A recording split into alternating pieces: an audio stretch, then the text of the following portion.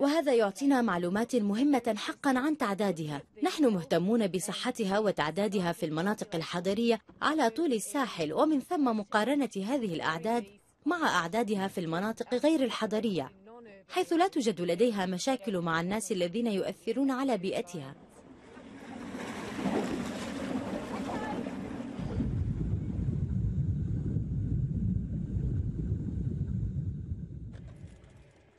لقد كان ذلك ذكرا كبيرا.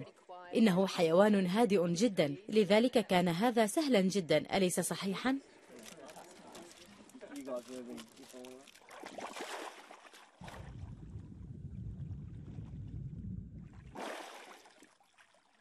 ما لدينا هنا هو الطعام المفضل للأطم هذا هو نبات كولوفولا ألفالوس وهو نادر جدا في قاع الرمال.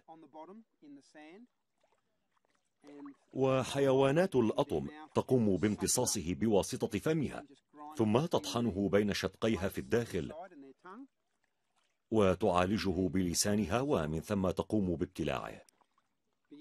يمكنك أن ترى أنه لا يوجد الكثير من هذه النباتات ويتعين على تلك الحيوانات أن تأكل كما الأبقار. أعني أنها من أبقار البحر أي تأكل طوال اليوم لكن يجب أن يوجد ما يكفي من الطعام.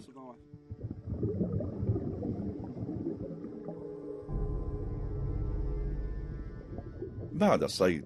نجد أن تدمير المراعي هو السبب الثاني لارتفاع معدل الوفيات بين حيوانات الأتم فعندما لا تجد غذاء تهاجر لإيجاد المراعي البحرية الطازج.